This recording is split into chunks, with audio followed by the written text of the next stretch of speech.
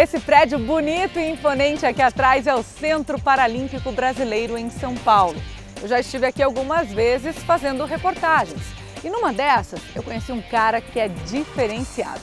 Renato Leite, capitão da seleção brasileira de vôlei sentado. E um cara que aproveita a influência que tem para mostrar que através da superação é possível chegar mais longe.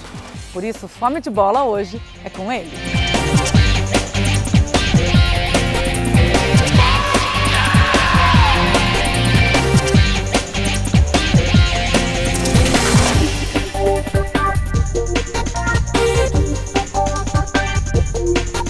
E aí estou reencontrando o Renato nesse cenário. Obrigada por conversar com a gente.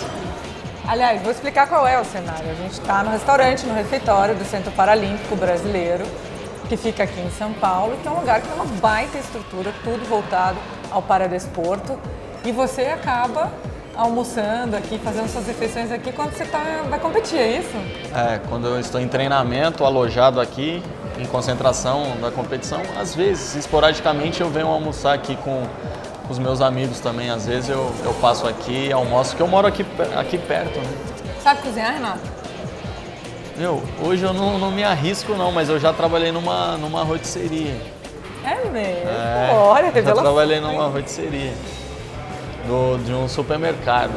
E eu, garotinho muito novo, com 15, 16 anos de idade ali, trabalhando, 15 anos, montando pizza, então eu ganhava muita caixinha para os clientes ali que, que iam comprar. E uma coisa que eu não gostava na rotisserie era descascar cebola. Quem gosta? Muito bem. E como é que é a sua nutrição como atleta? Assim? Como é que é a tua alimentação no dia a dia? Eu procuro me alimentar muito bem assim. É eu como, procuro comer em 3 em 3 horas, gosto de comer bastante saladas, porções de frutas na, nas minhas refeições, tanto no almoço quanto no jantar. E você está de férias agora porque a temporada ano passado acabou bem depois que vocês foram para a Copa América, é isso? É, nós tivemos a Copa América em, no final de outubro e o Campeonato Brasileiro, a nossa temporada acabou dia 17 de dezembro, que foi o último jogo do Campeonato Brasileiro, inclusive foi aqui no CT. Uhum. O Brasil já tem título? O Brasil foi, foi vice-campeão mundial no, em 2014. É, nesse mundial eu fui eleito o melhor líbero do, do mundo. E agora na Copa América, o melhor levantador das é, Américas. Foi eleito o melhor levantador das Muito Américas. Muito bem, parabéns. Muito legal. E aqui é aquele esquema, né? A gente tem que ir lá e tem que se servir. Então, nós vamos para lá e a gente vai ver que tipo de escolha que o Renato vai fazer lá. Vai botar só salada no prato só porque não, a gente está aqui não, filmando, né? Não, não. Eu tô de férias. Comer bastante proteína.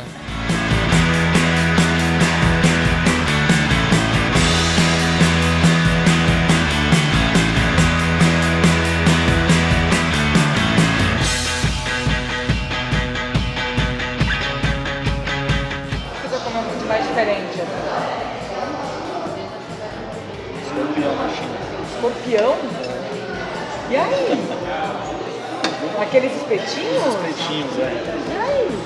Eu achei que eu achei gostoso. Crocante? Do, do óleo, né? Na verdade, crocante. Parecia um camarão, sabe? Ah, depois dessa revelação que você já comeu escorpião. Comi para experimentar. Na Olimpíada em Pequim, foi é. isso?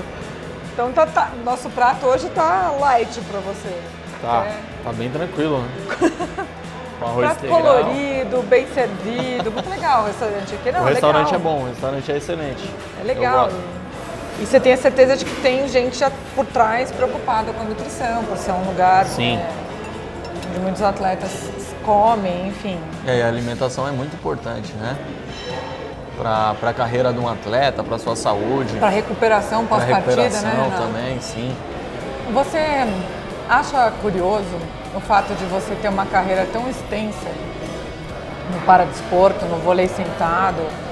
Você foi a três Olimpíadas, você tem títulos importantes, já foi o melhor jogador do mundo, ainda joga em alto nível e pode jogar muito tempo mais ainda. E mesmo assim, por exemplo, as pessoas não sabem quem você é na rua. É muito diferente, né? Assim, tudo que possa acontecer na minha vida, eu tenho muito a agradecer a Deus, a, a minha família, tudo que aconteceu, mas nada que aconteceu, nada disso me fascina, sabe? Eu vou lá porque eu quero dar o meu melhor, quero representar o nosso país da melhor forma possível, eu quero voltar com o melhor resultado. Eu ter ciência dali, que foi ali, eu, eu deixei praticamente a minha vida na quadra para trazer esse melhor resultado. Né? E eu não quero que ninguém venha me bajular, não, assim, é legal você sentir essa coisa, você se servir de inspiração para muitas pessoas. É legal você ter fãs, né? Porque isso te motiva, mas isso não vai me fascinar. Mas a gente tem, eu acredito que o movimento paralímpico, a cada ano que passa, Lara, vai ganhar mais espaço. Hoje o Brasil é potência paralímpica. Em qualquer competição que vai, nós somos os melhores. Está sempre ali disputando uma medalha, disputando um pódio.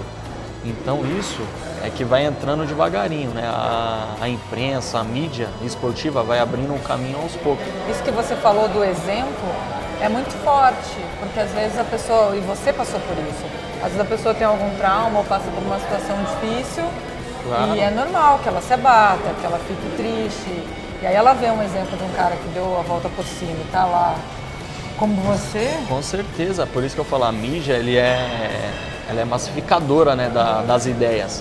Na época que eu sofri o um acidente, em 2002, eu não conhecia ninguém, eu não conhecia nenhum amputado. A única imagem de uma pessoa amputada que eu tinha era uma pessoa que morava perto dos meus pais e aí até os meus familiares, amigos, tinha amigos meus que jogavam comigo na época, falando, meu, o que, que o Renato vai fazer agora? Perdeu o principal instrumento de trabalho dele. Na época eu jogava futebol. Os caras não conseguiam me visitar, as pessoas achavam que eu ia se escorar numa aposentadoria né? E iria ficar igual esse rapaz que ficava no bar o dia todo jogando dominó e tomando lá, andando de cadeira de roda. Porque ninguém conhecia pessoas que andavam de prótese, que existia esporte, eu mesmo não sabia.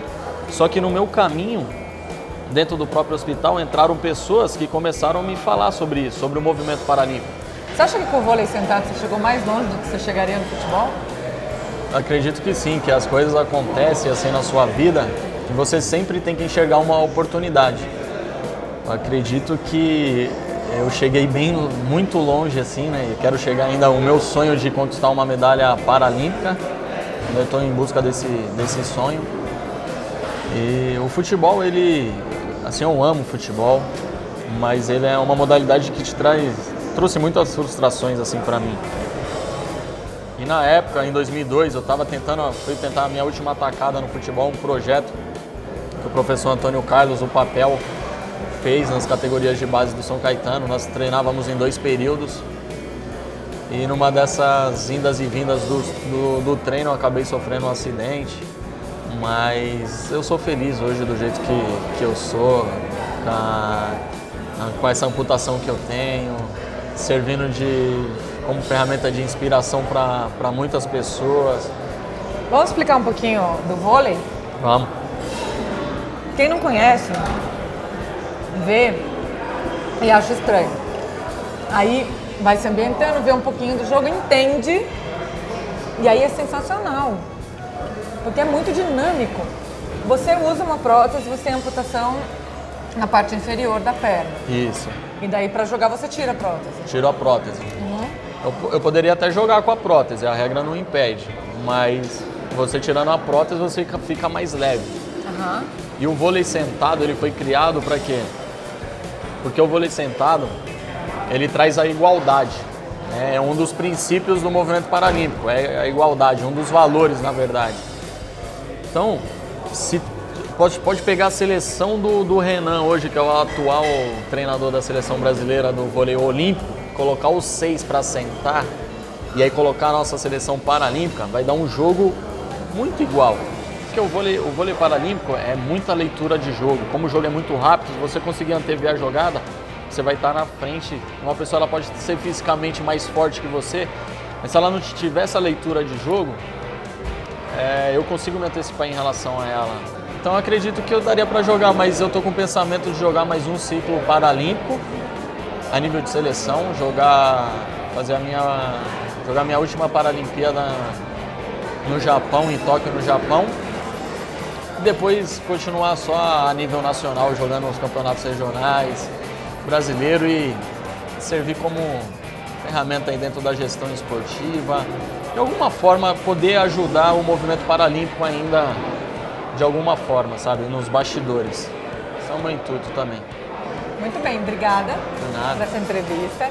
Obrigada pelo teu exemplo porque quando eu te conheci, a gente, eu vim aqui fazer uma matéria e aí logo eu já percebi que você era mesmo diferenciado, porque você leva essa mensagem muito a sério, é, fazendo sempre questão mesmo de ajudar as pessoas através da tua superação pessoal. Isso é muito legal. É, eu tenho muito orgulho de saber que tem brasileiros como você e que tem gente como você que consegue chegar ali, ó. Você foi três vezes campeão para-pan-americano, você tem toda uma história. E se hoje a gente ainda não dá valor ao, ao paradesporto no Brasil, lá fora muita gente dá. Então você tem certeza que você tem esse reconhecimento e a gente espera que no Brasil também tenha em breve. Obrigado, Lara. Eu que agradeço o convite aí para participar do programa Fome de Bola e pode contar comigo sempre. Se precisar de alguma coisa, estou à disposição. Obrigada, aproveitem, curtam essa entrevista, se inscrevam no canal e semana que vem tem mais. A gente vai ficar por aqui e depois ainda tem sobremesa, claro, né? É, Eu não claro. consigo. Beijo. Tchau.